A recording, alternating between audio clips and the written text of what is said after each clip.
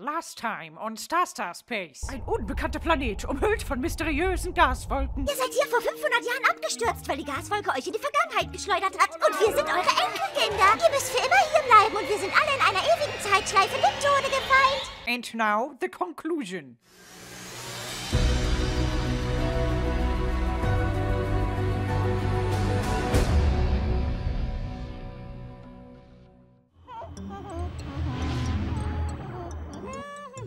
Noch ein Stück, Captain. Oh nein, ich bin total voll. Sie vielleicht, Commander. Ich werde das ganz bestimmt nicht essen. Da ist Ananas drauf, das ist widerlich. Aber du willst doch nicht auf leeren Magen sterben, Dave. Laut den Aufzeichnungen von Crash City versuchen wir heute durch die mysteriöse Wolke zu fliegen, reisen 500 Jahre in die Vergangenheit, stürzen auf den Planeten ab und du wirst in tausend Stücke zerfetzt. Das habe ich selbst animiert.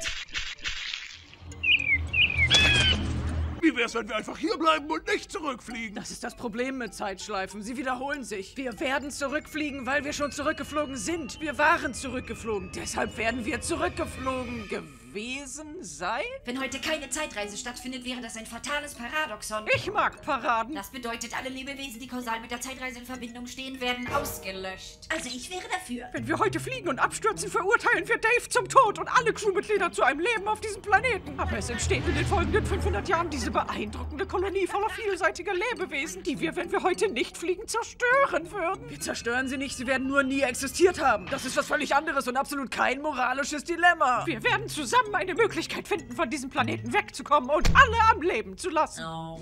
Es. Eine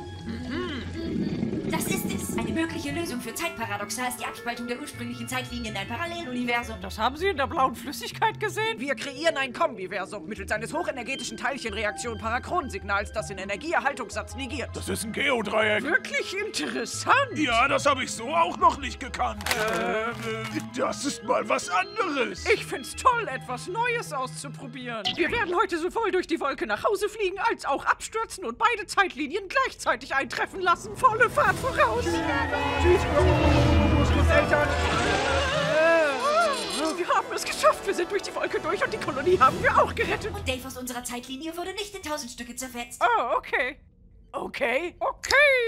Ich kann durch die Wolke nicht scannen, aber ich empfange eine unbekannte Datei auf meinem Terminal namens I love you. Klicken Sie okay. Das war auch der Name eines super bekannten Computervirus. Man klickt doch nicht einfach drauf. Äh. Hallo Dave, dies ist eine Aufzeichnung. Vor 499 Jahren und 364 Tagen haben wir uns zuletzt gesehen. Wusstest du, dass es vor 500 Jahren schon Konservendosen gab, aber Dosenöffner hatte noch keiner erfunden? Organische Lebewesen sind manchmal so idiotisch und unterbelichtet und schwachköpfig. Spul mal vor. Dumm und naiv und unsinnig und blöd.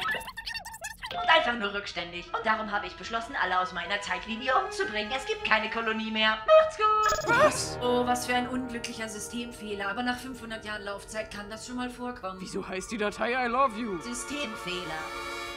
Okay. Okay. Okay.